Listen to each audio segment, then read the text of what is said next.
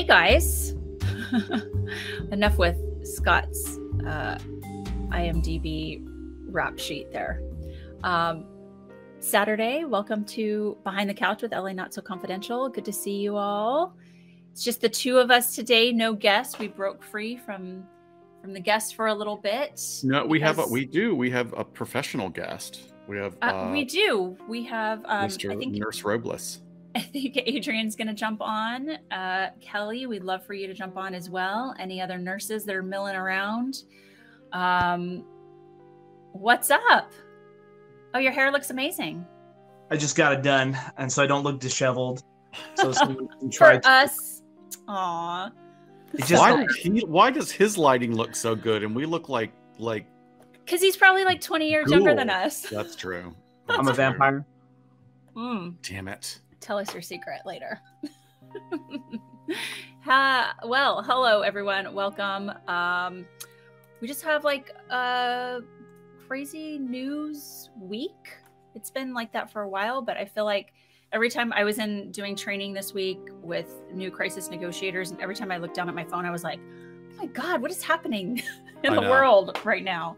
I know. people were sending me stuff, and um, I was following some of this nurse Vaught stuff on TikTok of all places, where is um, my other home where I'm currently making an ass out of myself. So please feel free to go follow Dr. Shiloh on TikTok. I'm trying to get Scott on there. You guys know it will be 10 times more hilarious than anything I could ever think of. So um, let's start a petition for that and get it going. Once it's on the internet, it's on the internet forever. Remember oh, that. I know. Um,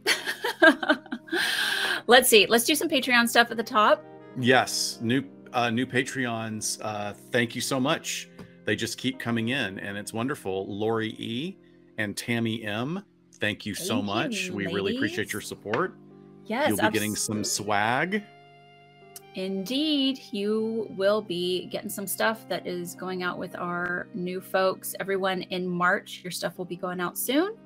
Um, on that note, talking about sending stuff out, um, I'm going to spin the wheel. We are going to let this Patreon member who wins a giveaway pick any mug of their choice.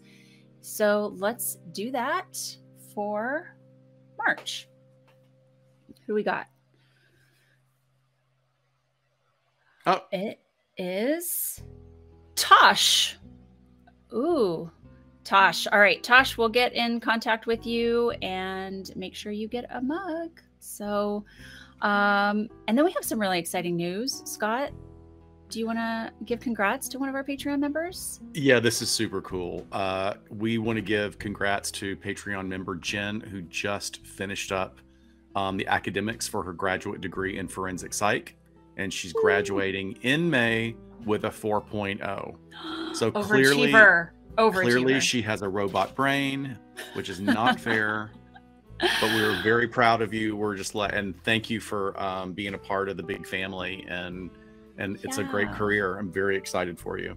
Very yeah. excited for you. Thanks for letting us know. And we yes. um we love to hear this stuff. And Jen, please let us know what you go on to do after this. So excited for there's so many folks graduating and new horizons in their life, and we're super excited for everyone. Because we've been there, done that.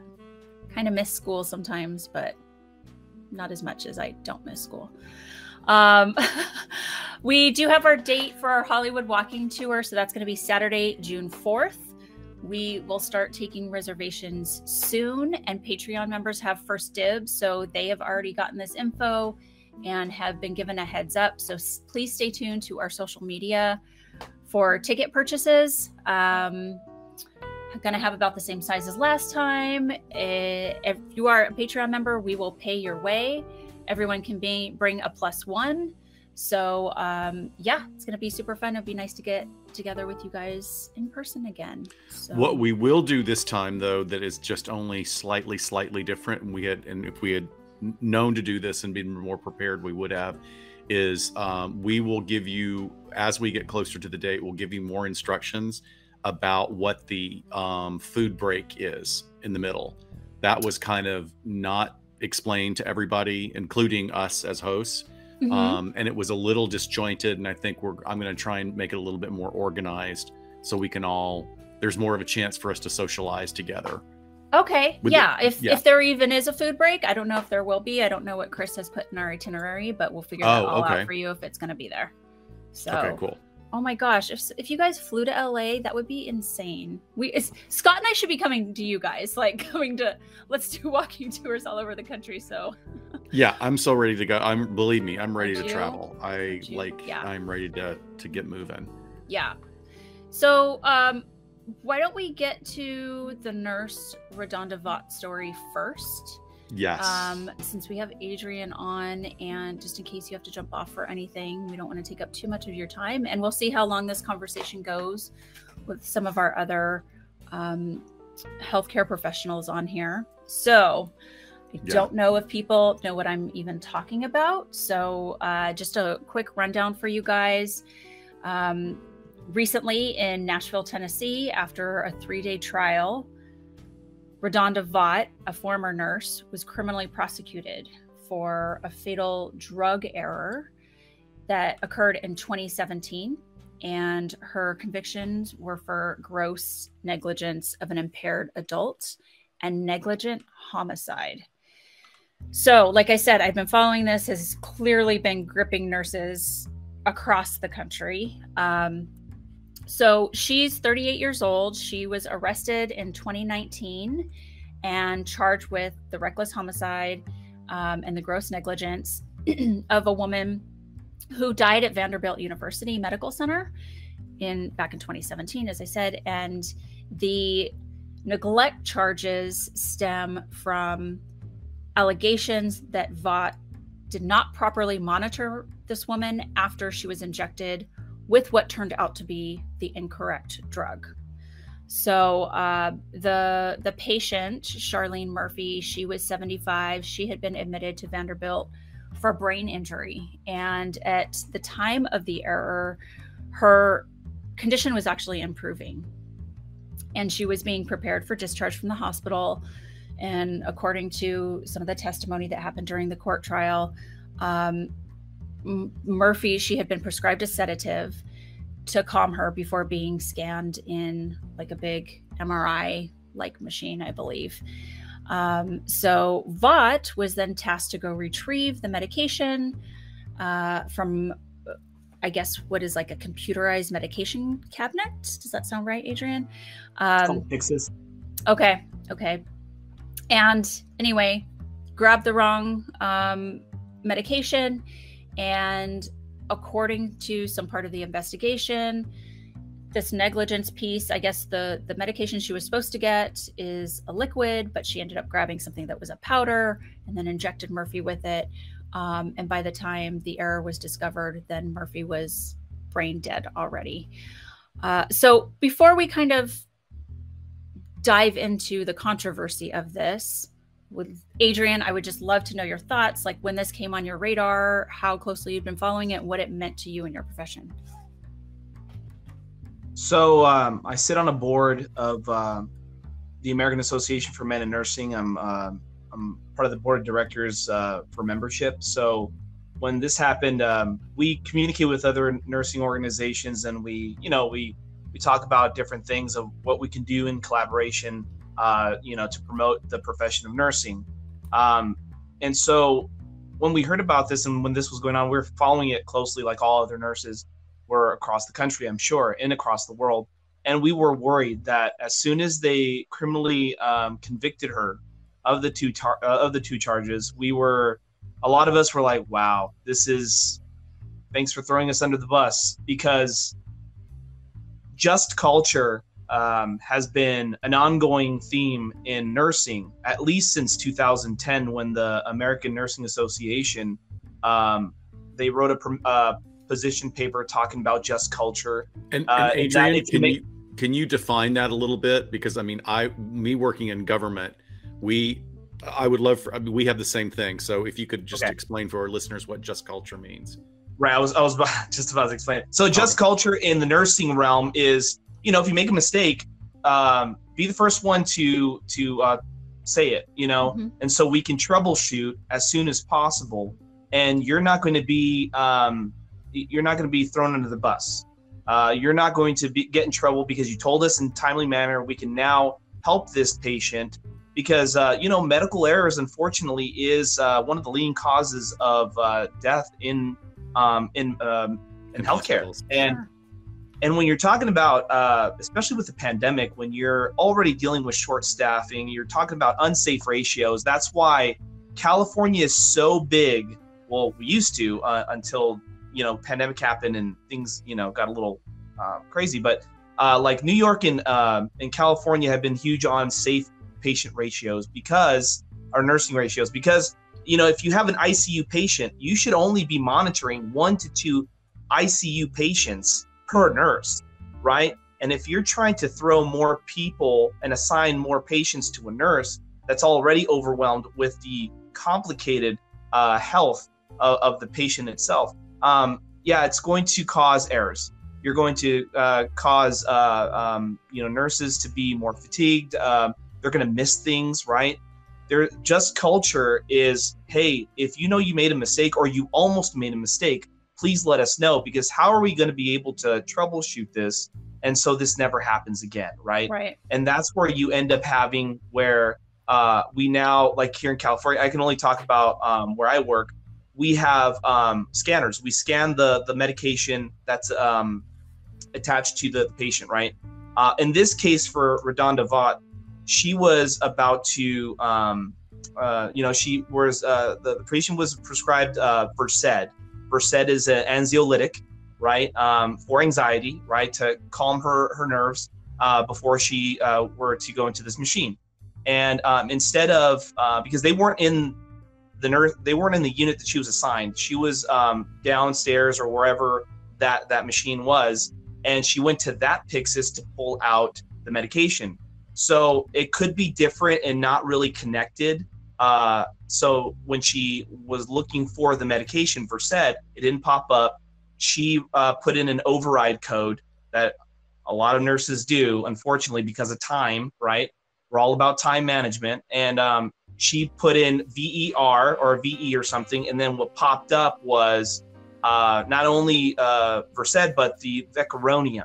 Mm-hmm. Vecuronium is very powerful. Um, uh, what, what do they call it? It's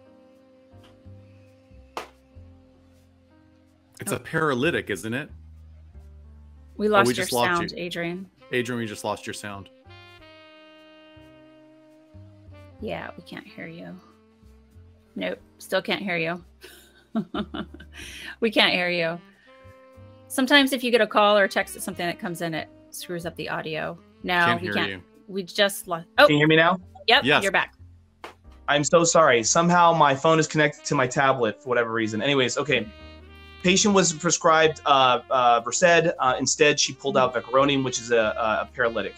Uh, paralytic that paralyzes everything.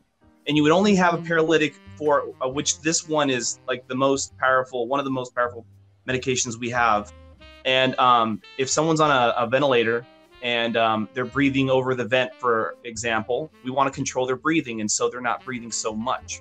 So we will control their breathing if they're on a vent.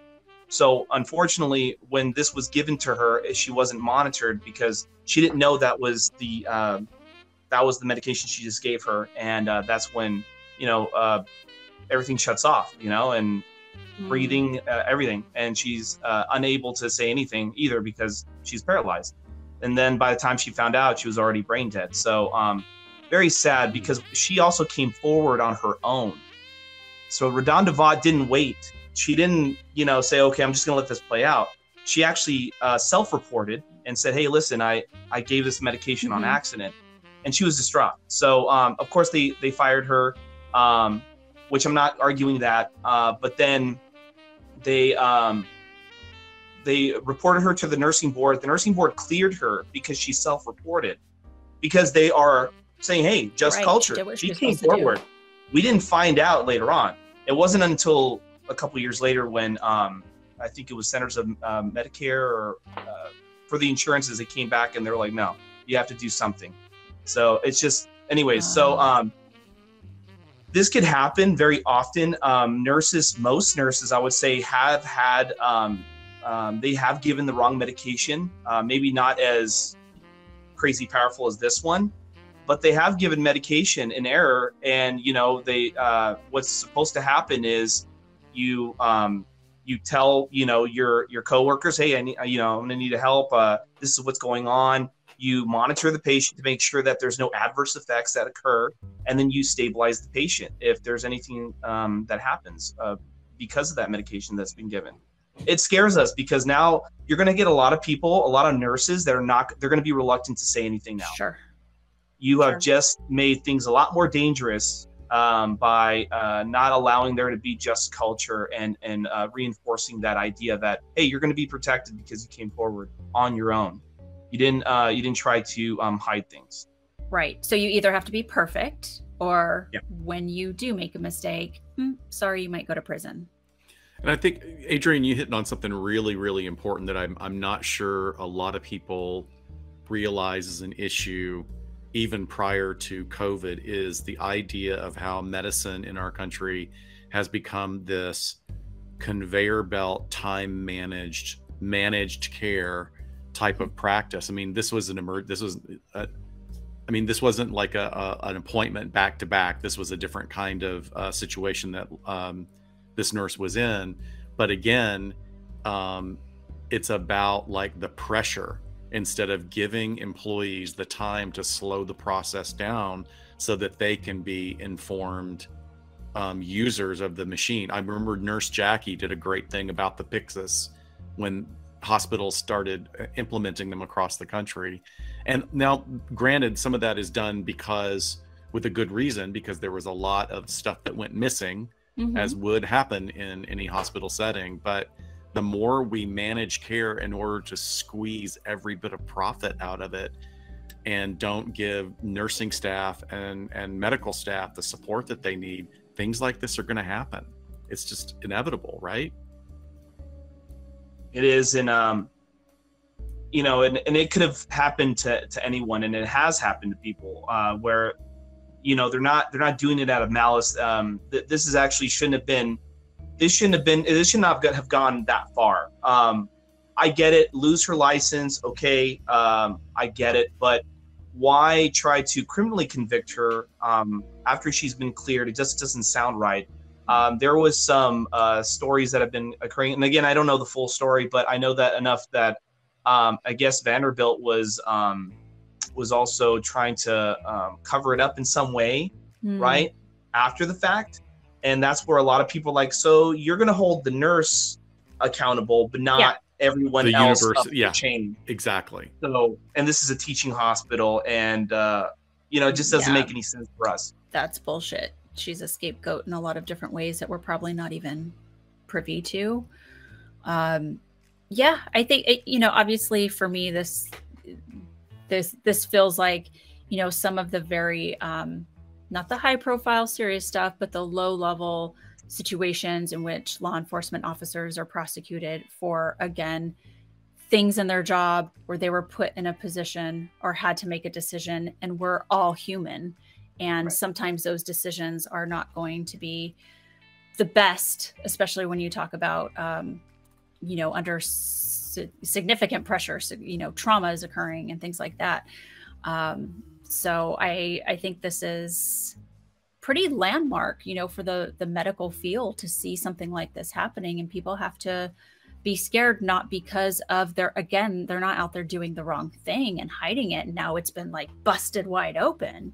Yeah. It's just this level of protection that is sort of you know cloaked that area of like yes there's going to be human error and we have to live with that with modern medicine um, it's not going to be there anymore. Perhaps we're we're a very litigious country.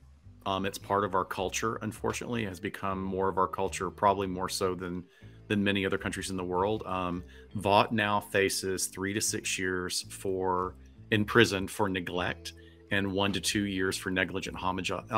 Negligent homicide, excuse me, mm. as a defendant with no prior convictions. Now, wow. my hope is that I mean I don't know the system where she is, the legal system. But my hope is that that she would also get time served and some discount, which is usually what happens. It's certainly out here in California, is you you know you can um, stack up good behavior and a bunch of other things and have your time reduced. But um, it is going to be a, a, she is going to serve some time no matter what. Um, I do think that's it's really telling. Um, after the verdict, she said, "Healthcare just changed forever. You can no longer trust people to tell the truth because they will be incriminating themselves." And the American Nurses Associated issued a similar statement expressing the same concerns about her conviction, saying that it sets a quote unquote a dangerous precedent of criminalizing the honest reporting of mistakes. Exactly what you were talking about, Adrian. Yeah. Hey, Kelly. Hey, Kelly. Hey, guys. Wait. How are you? Good. Way in. Yeah. So, um, I know a couple of you guys already know I haven't worked the floor in nursing for about three years. I moved into administration. Um, I have a stack of incident reports um, every month from nurses giving wrong medications where they're self reporting. And my concern is now they're not going to be reporting those things. Um, luckily, we haven't had any incidents, you know, since I took over that have re- have resulted in injury or death or anything like that. But yeah, it's a huge concern. Um, I actually did not post this on social media or anything like this, but I actually did walk out of my job about three weeks ago okay. because our corporate office was pushing unsafe uh, nurse to patient ratios. And it became to the point where I was uncomfortable as an administrator. I didn't want to work there anymore. Wow. Um, 32, I mean, we did residential treatment um, for substance use disorder, but 32 um, patients per nurse is just an Whoa. insane yeah, insane ratio. And yeah, I had my mic off. No, no, no. That's in, that doesn't yeah. work. Yeah, they're they said, well, they're asking for liability. They're asking for liability. Oh, absolutely. Well, if you staff with strong nurses, I that's not a guarantee that I'm going to have a strong nurse walk in here. Yeah, I, no I'm kidding. Able to right. This now. happens everywhere where there that's why we and in the nursing community and kelly can probably uh, uh, attest to this is like we talk to each other. Hey what do you think about this place? Oh no i wouldn't go there because mm-hmm. they're unsafe. I don't want to lose my license. We all talk about it and we just kind of step away from that. Yeah. Yep. Yeah. So as an administrator kelly i mean are you hearing buzz about like trying to preemptively get out in front of this potential future problem of nurses not reporting anymore, or is it just like everyone's heads are spinning since this? I haven't heard out? anything. I haven't heard anything about that from the corporate office or any higher ups or anything yeah. like that. It's not been talked about in our building at all. Um, the nurses are talking about finding a different job, finding a different profession. Wow. Um, I've discussed before, and Adrian probably feels this too. How many people have you heard? Oh yeah, I went to nursing school, or you, have never known that person to be a nurse or anything like that. I had uh, 25 people start in my starting class. 7 mm-hmm. people graduated, and two of us still hold our nursing license. Oh my gosh! Wow! And I graduated in 2011. So get ready, guys. We're gonna have no cops and no nurses in the future. No cops, no nurses. We're, but see, even before the pandemic, we were dealing with a lot of short staff, uh, like you know, high census, and then we're short staff. We're always scrambling to get more people to come and work, right? Now you're going to create a situation. Not only did the stressor of the pandemic uh, force a lot of people to go elsewhere, maybe stay within nursing, but not stay at the bedside, yeah, right? right? Now they're teaching, they're doing other things, right? Uh, like, but now you're forcing uh, more nurses to now reconsider should I even be at the bedside giving uh, medications, right? Yep. It's going to slow the whole system down because now uh, nurses are going to be very careful, very much more careful, and then you're going to start to see an uptick in like uh, liability insurance on nurses. So not only uh, do physicians have it, but we're going to probably start getting it too. Yeah, but there's a big pay differential. It's harder for nurses to afford those levels of insurance fees. That's all. Yeah, and I know where I work. Um, that's worked into every doctor's contract. That's not something that they ever have to pay out of pocket um, at, at almost every place I've ever worked. So, wow, wow, it, it's incredible. I mean, I we'll see what this does, but um, I don't know. What do you guys think uh, she's going to get as far as a sentence? Has there been any rumblings of what people are hypothesizing? I mean, um, there's been a lot of talk, and uh, you know these petitions that are signed. I don't even know if they're going to do anything. They're just saying, "Hey, listen, okay, I get it. You're, you know, the conviction's already been set, but uh, no jail time. You know, no no prison time for her. Yeah. yeah. Um, it's just it's un. Uh, it's it's not you don't you don't charge a nurse for this when she's self-reported. You you talk about like the angels of death that you guys talked about Oh earlier gosh, on yeah. right? And like did they get the same if not a lesser charge uh or conviction because of what they did? And they there was premeditation involved all that stuff. Some of them, you had yeah. redu- yeah right? So i mean it's it's really angering us to the point where yeah i mean kelly's right. A lot of my nursing friends are like so like what can we do we always make the joke of like i you know we can be strippers right so it's like, always like we can totally do something else right oh man it's just it's it's crazy right now Yeah, I bet. Well, um, we uh, are compassionate towards this for you guys. We know it's tough. Scott and I know what it's like to have your whole industry sort of rocked by one incident um, or multiples. You know, there there are multiples and others, but you know, when something like this comes down, um, I know the fear that that instills and the worry and the you know, did I just work all this? am I going to go to a different industry because of you know all the work I just did in the school I completed and the money I spent? Um, that's tough. Yeah, and um, you know, as soon as it happened, uh, James, my partner, he's an, uh, a an uh, OR nurse in the operating room at a, uh, one of the prestigious uh, air, uh, hospitals down here. He um, he called me right away. He's like, "Are you? Can you believe this?" I'm like, "I don't know. I don't know what we're. You know, I don't know what's going to happen to this. I don't know if this, this is going to catch fire and like be the con. Like now the bar has been set uh, for all other um medical errors." And will it be even worse for someone that did not self-report, right? Um, Oh, now sure. be at the level, right? So So you're weighing that risk. Mm, do I rat on myself or or not? Um, do you guys know if like were there any groups or entities or advocates sort of uh, pressing for her to be charged and for a heavy hand in this that is like wanting them to be held responsible more so than they already are or you know because usually there's two sides kind of pushing but i hadn't really heard of anyone like yeah fryer at the stake sort of thing. Well, okay, so if you go to any uh, group chat, right, there isn't anything that I know of of like a, an entity um, that is going out there saying, "Hey, she should fry for what she did," right? Um, Mm, uh, but a lot of nurses do chime in on those comments, and they're like, "Hey, you know, there are multiple warnings that uh, that pop up when you're about to pull that drug, right?" And you know, uh, depending on what um, system that you're working off of, it will tell you, like, "Hey, are you sure?" okay and even on the bottle it'll tell you paralytic right so but no one can no one knows until they've been put in that situation exactly what was going on right Exactly. um i cannot uh, of course like i'm careful uh but i don't know what was going on with her that day uh there has been some really messed up things that have occurred that i've seen and from what i hear from people that work at that institution it's like the common thing it's a very Mm, toxic work environment. But like in nursing school, they do teach us something.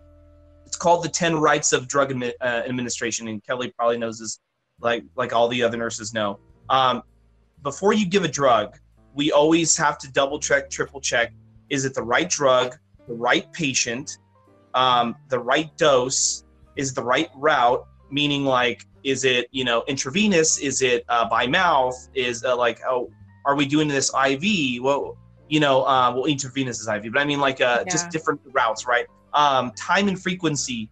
If anything of those are off, we have to notify the uh, the primary care provider who uh, you know who prescribed that as soon as possible. Because when you wait, this doesn't make sense. That's why the nurse is there, right? To say, hey, doc, this doesn't make sense. Can you like clarify this for me? Yeah. Because um, this is a little too much for this patient, or hey, we gave this other drug that's contraindicated with this, right? That's what we're supposed it's a system it's a system that's supposed to work It's yeah It's a system, right? And also, it we know going into this that if we don't catch the error, that our provider, the pro, the primary care provider, prescribed this medication, and we just gave it without um, checking. Mhm. Uh, we already know that that's an instant. Hey, we're going to get our license revoked. Um, also, right documentation. Um, also, the the right um, assessment. We're going to assess the patient. We're not going to give it um, a medication that controls high blood pressure for uh, uh, somebody that has low blood pressure right now. I'm going to check the blood pressure, make sure that it's high, and I'm going to give the drug. because it's going to provide that therapeutic uh, response, right? Yeah. So, um, but a lot of nurses they bypass that because they know, oh my gosh, I have like four other patients I got to go take care of. I'm going to boom, boom, boom, give this patient this medication, and then I'm going to roll over to the next patient. I'm going to do this. Oh, by the way, I have another admit coming in, and I got to go deal with that admit. Oh, mm-hmm. I got a mm-hmm. discharge going, so I have to do this all before this time, or else I'm going to get yelled at, kind of thing, right? So it's this this global issue that on one this particular day led to this awful tragedy. And like emily is saying yes this gives particular pause for me but this is also a big mistake. Um, and i agree with her you know it, especially when i read like okay one's a liquid one's a powder i'm no nurse certainly but you know that that sounds like a clue sounds like a red flag to slow down no matter what's going on um, but yes, we don't know what's going on with her personally, how many long hours she had worked, how the the um, environment and system has created basically kind of setting her up to fail in this sense, even with the wonderful systems that are supposed to be there. Um, I think we've all probably worked in a place like this, maybe not the stakes so high where we're like, meh, I will say this though, with the powder versus the liquid, right? Because that powder, you crush it, you mix it with the bag, right, and then you mix that and it becomes a liquid, and then you you uh, give it. Mm. Uh, but there's antibiotics that have that. There has been times where, oh, this is a new drug because you read it, you're like, it's a powder now, and then I gotta mix it. It's happened before where what you imagine would be the norm now is in a different form. So again, um, it just adds to the whole confusion of like maybe she was just on autopilot. She yeah. knew, okay, person has a brain bleed, stabilized, again, probably gonna get discharged, no big deal. Yeah, again, exactly everything that you're saying always is circling back to slowing down the process and having more time for the individual, for the nurse to make sure that they're doing what they're doing. I'm immediately thinking of the times that I go in just for like a general checkup and blood being taken. So, you know, you go in for your checkup once every your big checkup once every two to three years, where they're taking three vials of blood.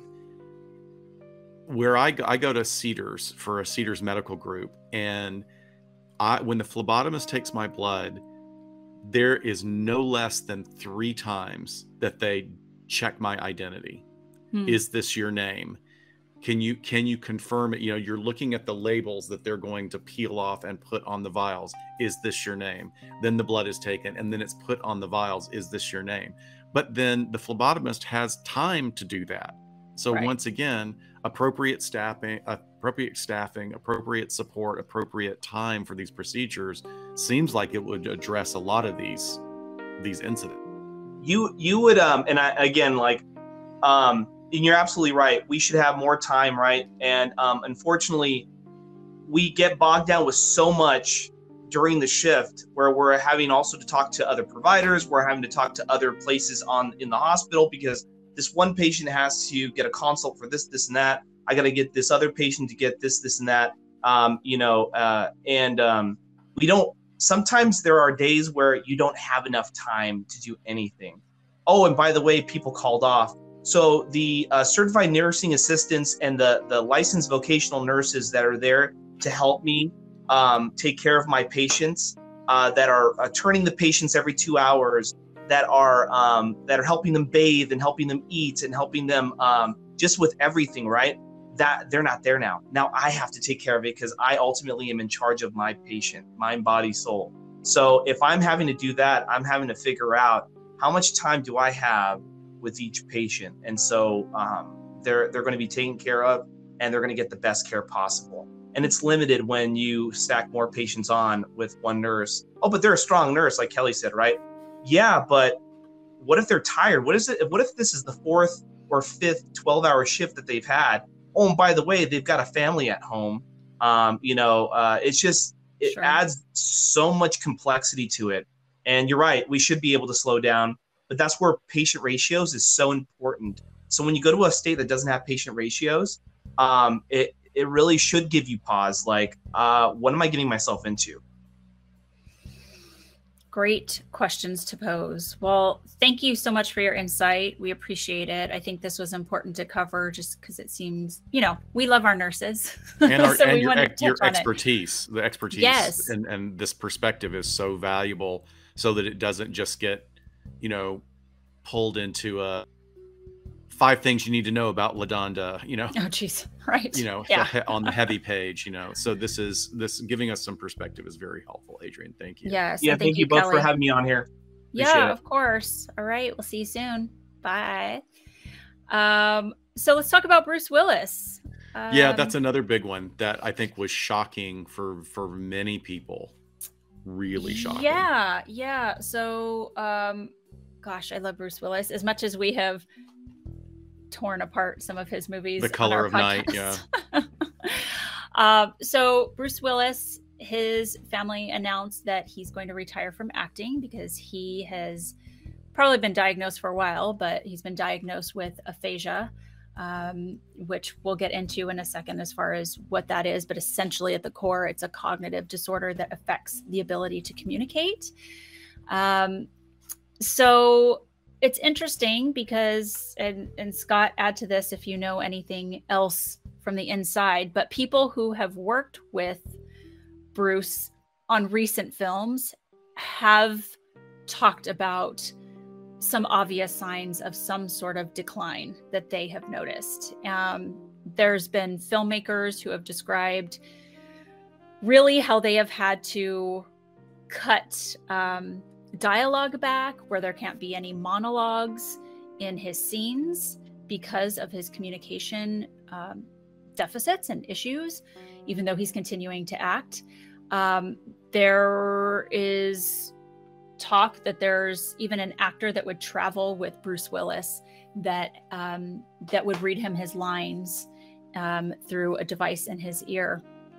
And in there's also one alleged incident that is interesting because it sort of ties back, harkens back to our issue we did about Alec Baldwin and, and the issue that happened on the Rust set, where two years ago in Cincinnati on the set of the movie Hard Kill, that Willis unexpectedly fired a gun. It was loaded with a blank, um, but he fired a gun on the wrong cue, and two people you know, said that this was something that happened. Um, nobody was injured, but everybody was really, really shaken up by this. So there's been other, not just like verbal issues and communication deficits, but other signs of sort of cognitive decline in recent years.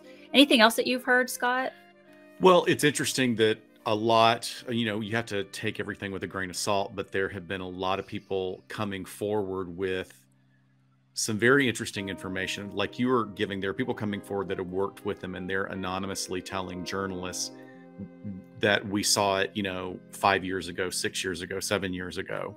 Right. and um like just being able to do less and less.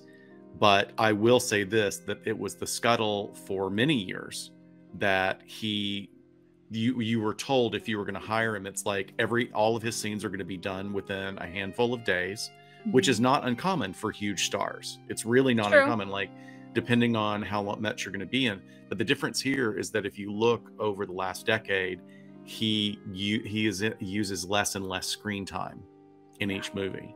But what is fascinating is how they covered it up and how it became this known secret and everybody was like, "Oh wow, he's really not doing so well."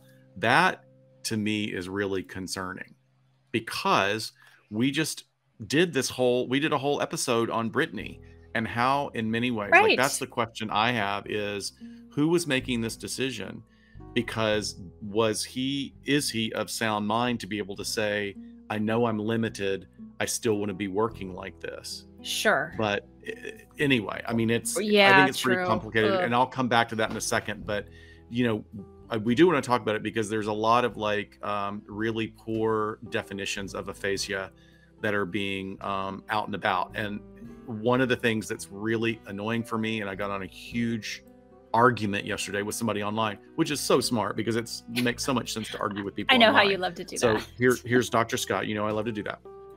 Um, but if you like, oh wow, he's got aphasia. I want to find out what that is.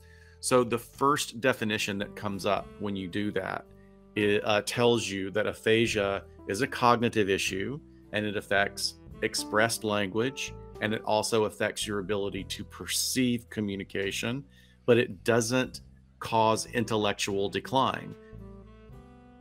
But you have to read the rest of the Wikipedia page or you have to read the rest of the article to understand yes, eventually it does cause intellectual decline.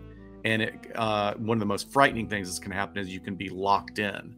So at the beginning, you could have severe expressive problems, severe comprehension problems, and you are you know what you're trying to say, but you yep. can't understand what people are saying to you, and you can't communicate to them.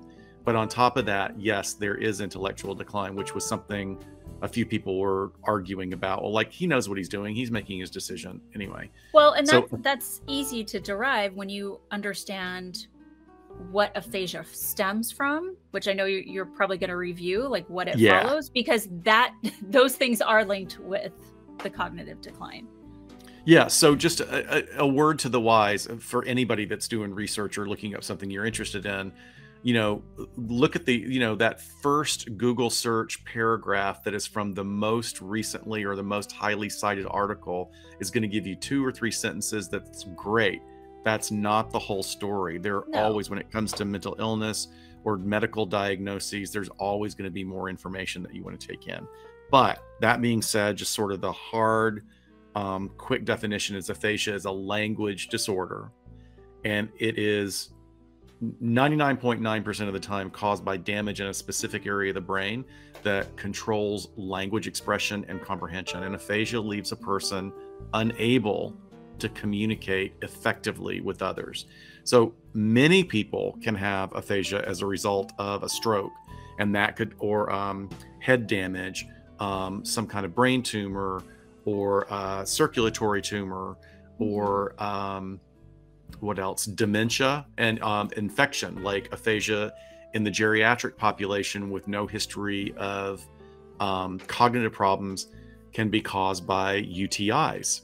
One of the things yes. they, for, like, whenever yes. anybody in a nursing home starts to act odd, the first thing they do is check for a UTI because it is it's real you know with an older population it's really hard to keep them hydrated so your kidneys are working blah blah all that stuff is interesting but there are many types of aphasia. They're usually diagnosed based on which area of the brain um, area is being affected. It's usually the language dominant side of a brain is affected.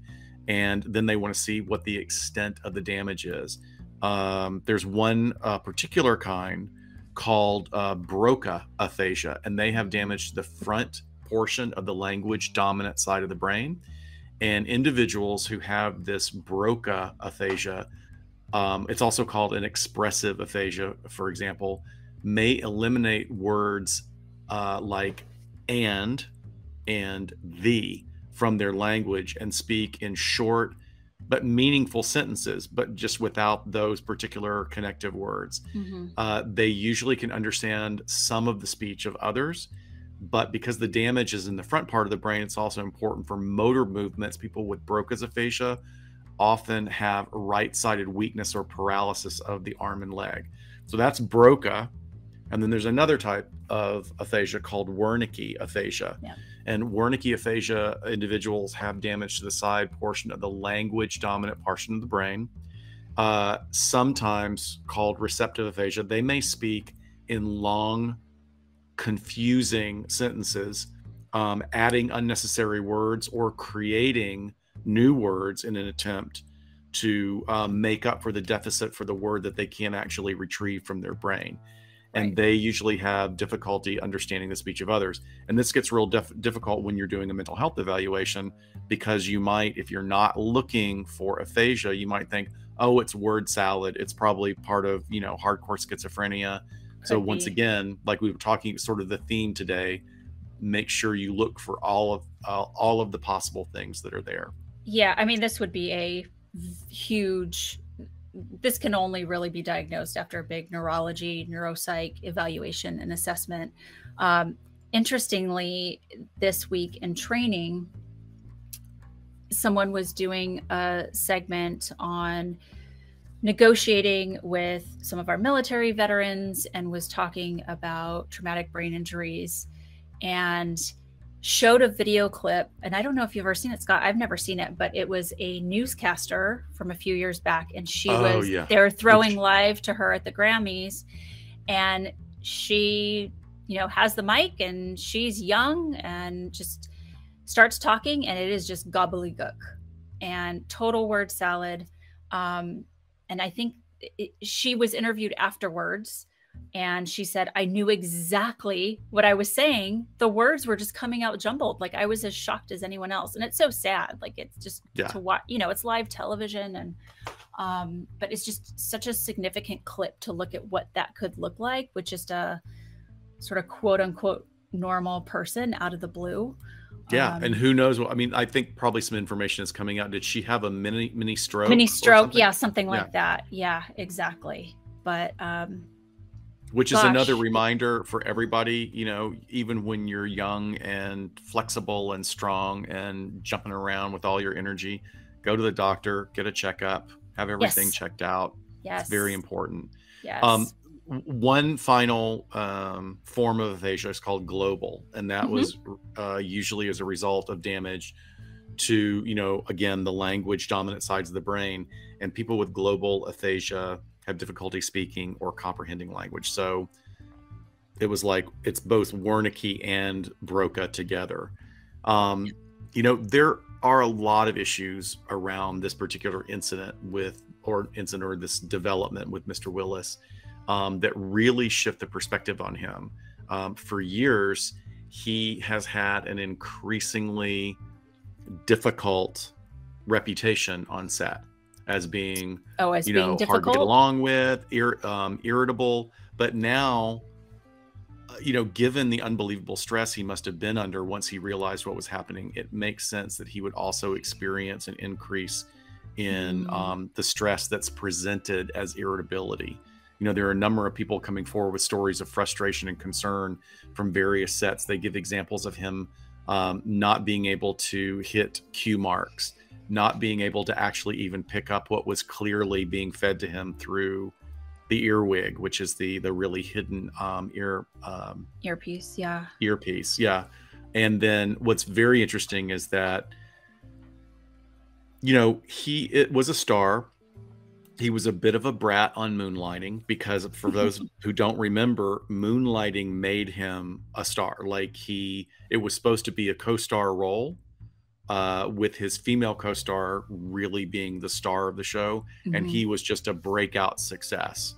You know, handsome, charming, sexy. He could sing. He played an instrument. Um, it was very Devil May Cry. He's like the, the the guy that every guy wanted to be. Right. You know, always with a smart retort, very funny. Uh, and then when Die Hard happened, he became a megastar. Like that was it. He was on the road to becoming, you know, who he is today and imme- almost immediately there was a lot of things that happened like with his entourage getting bigger and more and more demands. But you know that's just part of the game. Like when you're a star you get those things. That's it. You marry um, demi moore and you know. Yeah exactly. Um, but he also worked with a lot of directors who um, younger directors that were like uh, yeah i'm done with i don't need to work with bruce willis again and Aww. one of them was kevin smith kevin smith's very famous Mm-hmm. Um, very, very talented director and writer. And he directed him in Cop Out. And um, he said, long before any of the Cop Out stuff, I was a Bruce, big Bruce Willis fan. So this is really heartbreaking to read.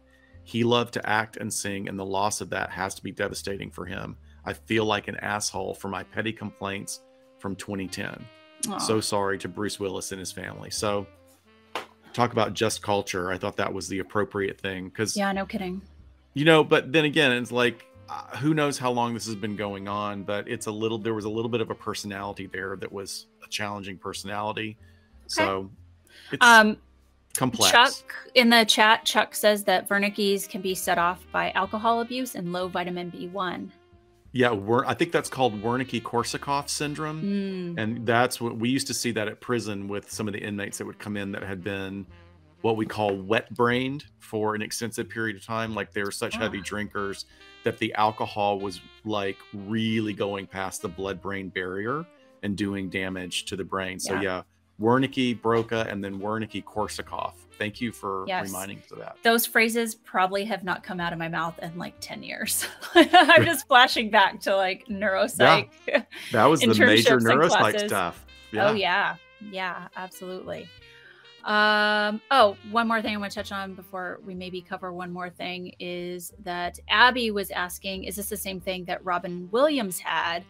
Um, no. So Robin Williams had Lewy body dementia.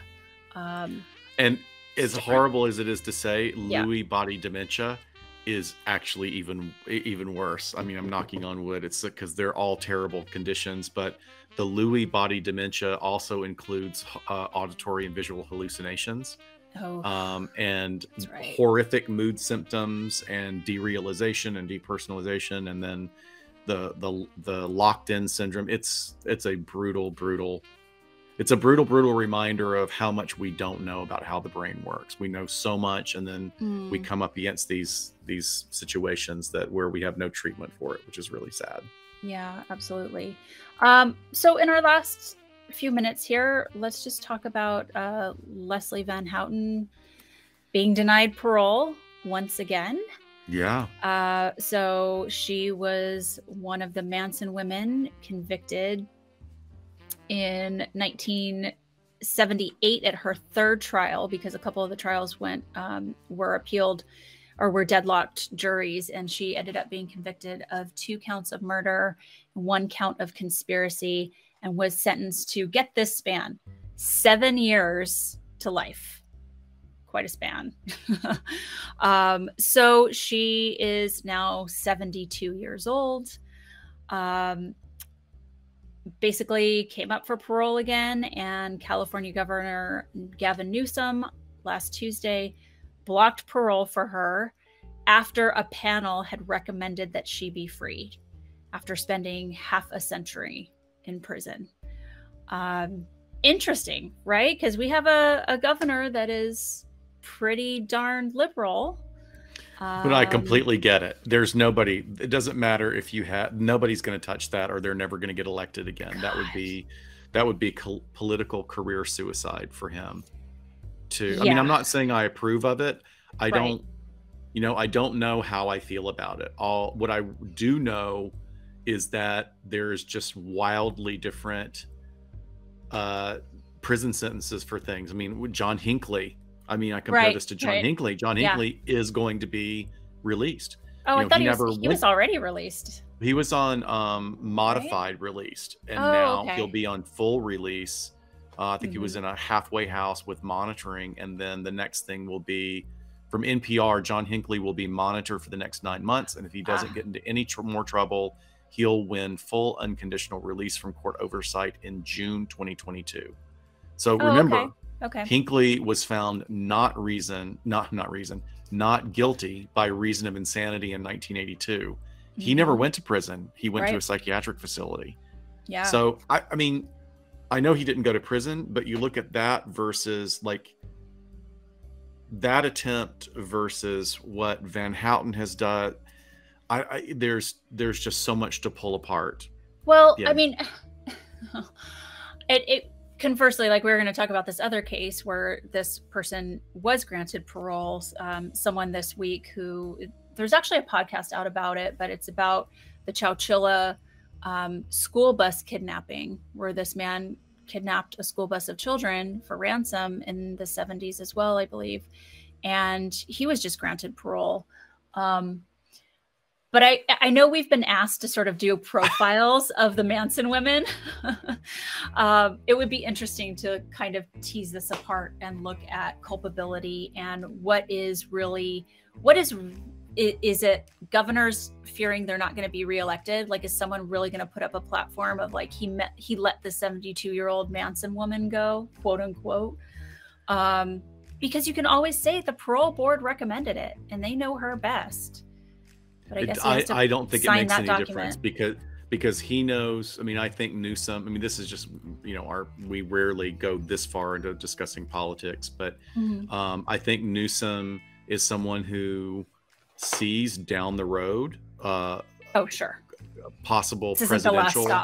yeah. No, this is not the last stop for him, and so he is doing what he feels he needs to do to protect that legacy. But then, and it's also like you look at this. I mean, I they buried a bus full of children, which just is horrific. I mean, the, the trauma that those poor kids I experienced. Can't. Right. And yet, you have to be reminded of it. Like you have to go, oh, right, that thing happened that in 1976 and oh there were kids involved and, and, nobody died that does not that is not as sexy and dangerous as anything having to do with the manson family right you don't have to remind anyone of what that incident was yeah that's exactly for sure. so he despite said the fact that our system would work better if we really did look at whether or not they were going to be a legitimate threat yeah because he does say that she quote currently poses an unreasonable danger to society if released from prison at this time. Now, that would be interesting to see how he quantifies that because I'm not really sure how you would do that. Well, right, because um, if a panel gave a recommendation, I'm sure they had a psychologist do a violence risk assessment. Um, oh, absolutely. Where's he pulling that from? You know? Um, yeah, I don't know. Uh, Abby said that there's a fantastic documentary on the Manson women on Netflix. So uh, maybe we can figure out a way to talk about that. But yeah, we should. Oi! Oh, it's a sh- it's a show. Okay. Um, everything's a, a series now. So I mean, it before... was like I, I, it was a cult. He was a charismatic leader. They right. were doing acid nonstop. They were teenagers. there was, I mean, it's I'm not making excuses. It was a horrible, horrible murder. I'm just saying that there is a, you know, we do have to hold the oper the, the chance that some people, given the right opportunity, can change. Well, those those or, factors or are else. clearly not present now. Right. Exactly. I mean, yeah, definitely. Um, I actually had a client that uh, was in the same prison with Leslie Van Houten, um, and they did a they they would they put together a women's lifers group like support group together um, and they were quite good friends. And uh, the woman that i saw had gone to prison uh, essentially for killing her husband. It was a battered women syndrome uh, issue. And uh, of course talked very highly of her. And the client i saw wasn't supposed to get out of prison. She could have been there for life but she eventually got paroled. Interesting stuff. You might hear an episode on battered women syndrome in the near future, guys. Yeah, um, we got to we got to do that. It's on our list. I wanted to show everyone our. me, Did the stickers come in? The stickers came in. Oh, hang on. Let me turn my light off. Just kind of tilt it down. Yeah, there you go. Look at those for CrimeCon. Aren't those adorable? I have coffee. Scott has a microphone. How appropriate. Awesome. Wait, hang on. Uh, all right. Um, I think that's good for today. Thanks so much for hanging out with us, everyone. Yeah, we have CrimeCon coming up. If you guys are still thinking about it, please make the drive if you can, make the trip if you can. We would absolutely love to see everyone there. We want to, the whole reason we're going is for the people that are going to be there. Um, our friends, our listeners, and we can't wait. That's absolutely the best part. So, yeah. And for those of you who are of a certain age, the uh, recommendations came out for anyone over the age of 50. Oh, yeah. Do please consider getting another booster. Yep. I'm going probably tonight or tomorrow morning. Oh, yeah. I thought um, you were going to go.